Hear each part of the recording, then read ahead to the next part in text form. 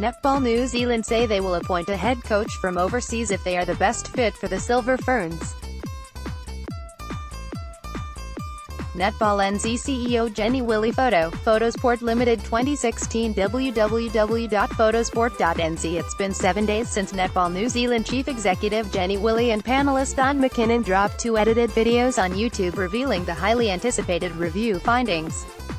40 seconds into Wyllie's clip it was announced that Netball NZ had accepted the resignation of former Silver Ferns head coach Janine Southby, and while the lack of surprise or disappointment showed exactly where the organization stood on the matter said the priority is to replace her.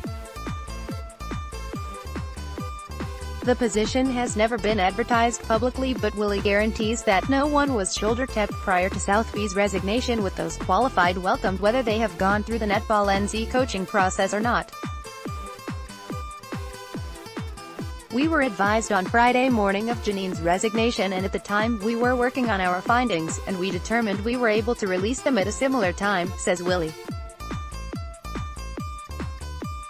We are actively looking for a head coach and we have strong candidates out there. It might mean that we need to have a caretaker until such time as we can approach the right person, as well as Southby's resignation. Assistant coach Yvette McCausland-Durie's contract ended at the conclusion of the Commonwealth Games.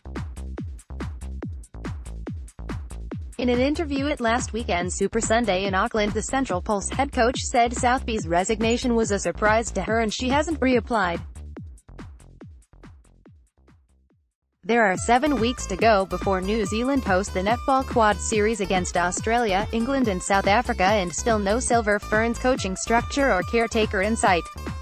Despite the ruling around international eligibility for players, desperation may prevail with Wyllie open to the possibility of appointing an offshore coach.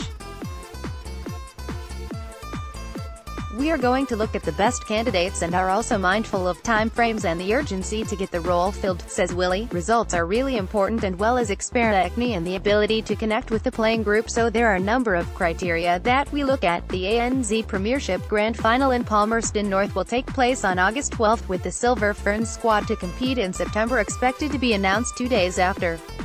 RNZ